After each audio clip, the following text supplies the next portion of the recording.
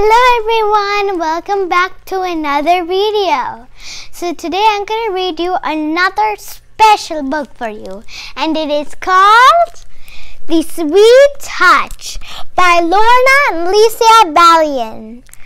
So this author name by Lorna and Lecia Balian, it might be familiar.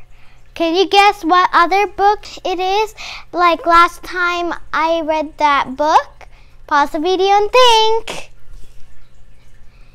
It's Leprechauns Never Lie by Lorna and Lecia Balian. That's about a leprechaun that has gold coins. So, this book has the same author in it. So, I hope you like this book, so let's get started. The Sweet Touch by Lorna and Lecia Balian. For Peggy and Penny. Peggy found a penny. She put the penny into a nearby gumball machine, but instead of a gumball, a shiny, genuine plastic gold ring rolled into her hand. Peggy liked the ring well enough, but she was very fond of sweets and would have preferred a cherry gumball. She put the ring on her finger and wandered off, hoping to find another penny. When Peggy was tucked into bed for the night, she remembered the shiny, genuine plastic gold ring. She turned it around on her finger and rubbed it to see if the shiny would come off. The bed trembled, and out of a puff of smelly dust, a strange, tiny creature appeared. Peggy yanked the quilt over her head and huddled with her eyes scrunched shut and her heart pounding. Silly girl, a wee voice whispered in her ear. I won't hurt you. Peggy peeked at him. Who are you?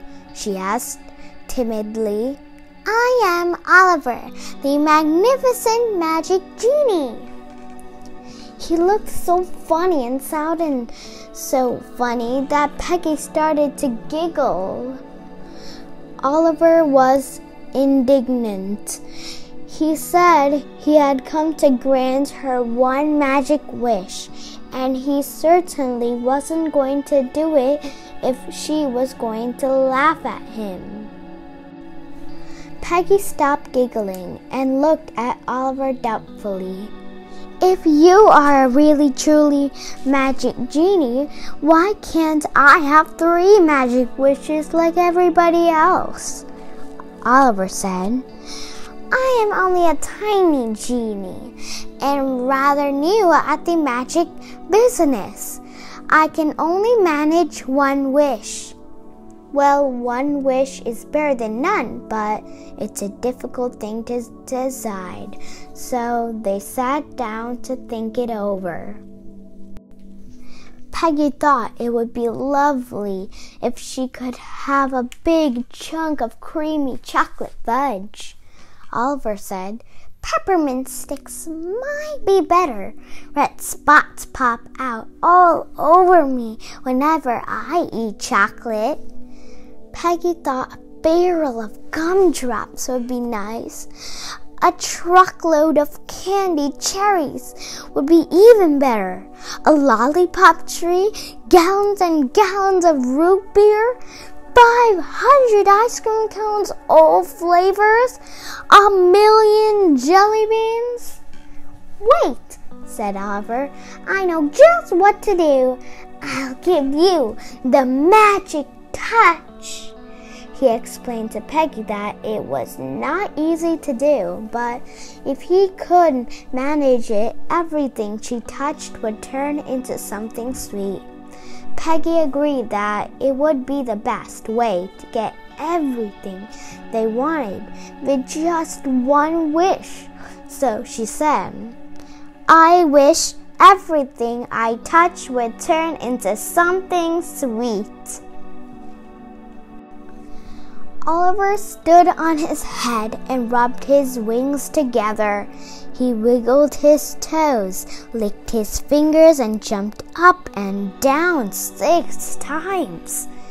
He whispered some magic words into his pocket, flew around Peggy's head 73 times, and sat down to say the alphabet backwards.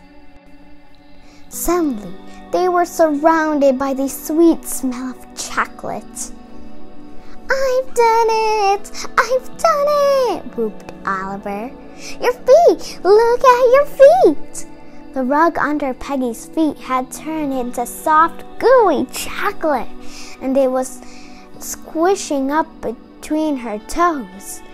Peggy happily licked her toes. Touch something else, Oliver begged.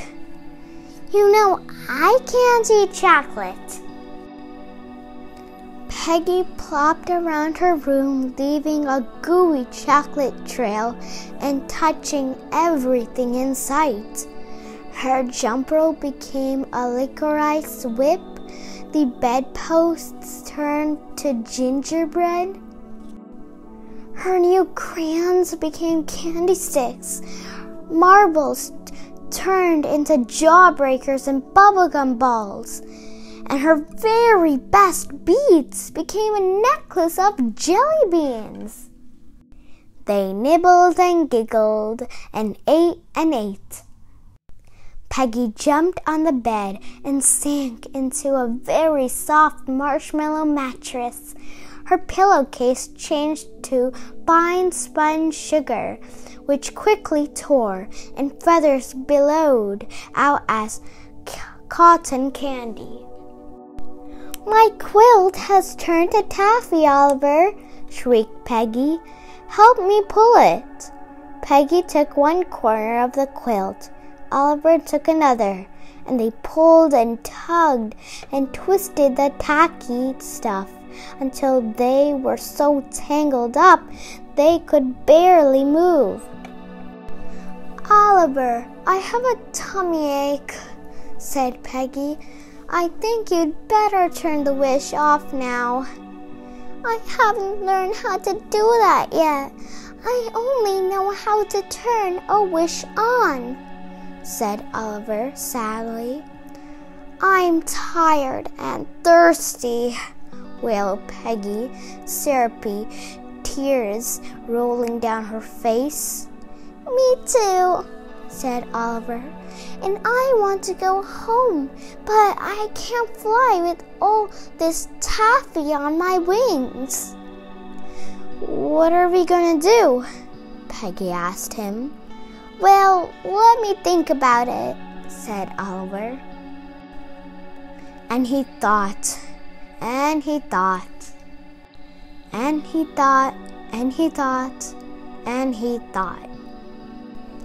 They were both sound asleep when Oliver's mother flitted into the room. She had been looking for Oliver all night. My, my, what a mess, she muttered softly. What am I going to do with that boy?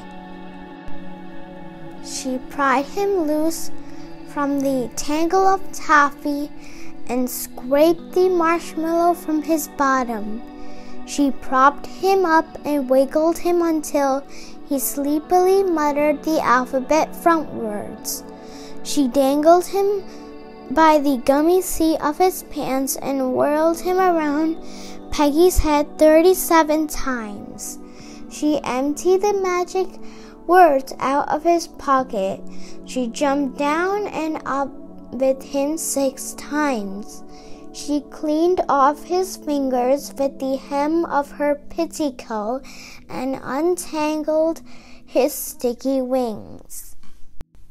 She turned him over her knees, gave him a love pat on the fanny, a kiss on the nose, and carried him off into the sunrise. Peggy woke up with her quilt all twisted and tangled around her and feathers stuck in her hair. She looked at the shiny, genuine plastic gold ring on her finger and wondered if the shiny would come off if she rubbed on it. The end. So I hope you like this book. So in this book, there's a teensy thing you need to know about. So this girl named Peggy, she found a magic genie that is a small genie that is new to the magic business. And the genie said to Peggy that, Do you want the magic touch? And then Peggy had the magic touch, and then she made everything. The bed became gingerbread. Um, her beautiful necklace of beads made made into jelly bean necklaces. So that's how well, everything she touched, she, it turned into candy. So then in the end, like somewhere in the middle, her tummy ached. So you know how that happened? Because she ate too much candy. You should never eat too much candy. It will spoil your body. And also, it can spoil your teeth. And cavities will come. So I hope you really understand this. So if you like this book, don't forget to like, share, and subscribe to our channel. Bye bye everyone. See you in the next video.